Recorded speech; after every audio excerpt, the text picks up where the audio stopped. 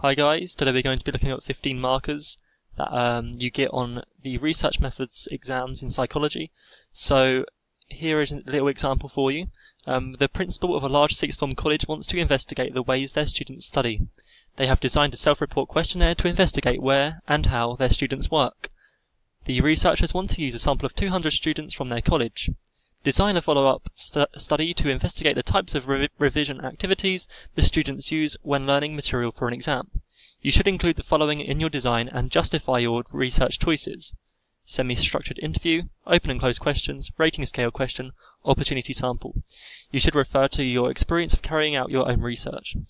And this is very important to do in the exam because you'll drop marks if you don't.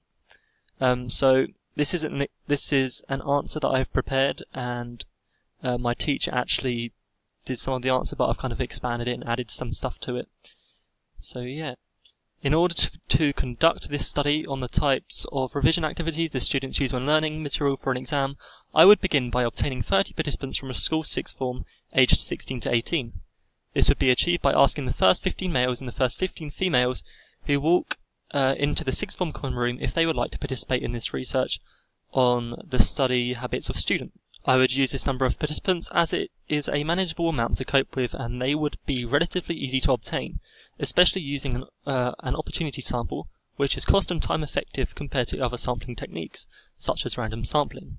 Similarly, when I completed my research on sleeping and dreaming, where I used a questionnaire to analyse people's sleep, I also used an opportunity sample of 30 people from the sixth form that I attend, as this allowed me to obtain the sample efficiently. After the, after the sample of 30 participants has been obtained, I would provide each of them with an appointment time, uh, 20 minutes long, where we would meet in a classroom to conduct the semi-structured interview on their study habits. All of the participants will be asked same uh, standard questions, such as do you find it more effective to revise alone or with others, and they will also be asked some follow-up questions which will be made up spontaneously. These follow-up questions might, for example, ask the participants why it is that they prefer to work alone or with others.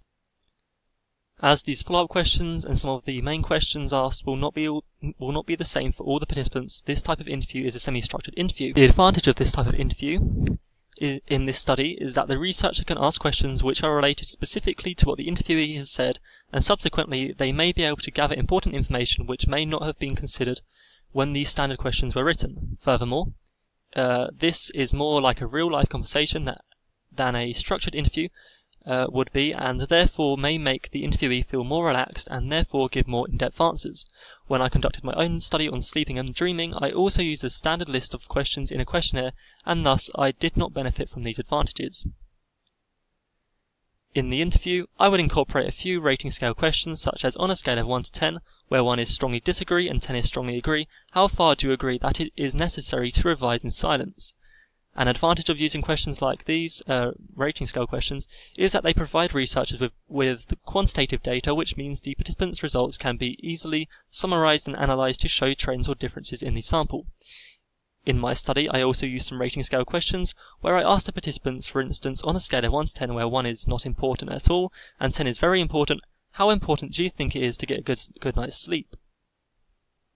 Furthermore, I would also use some open questions in this interview, such as describe how you would spend a day revising, and some closed questions such as do you find it more effective to take breaks when studying?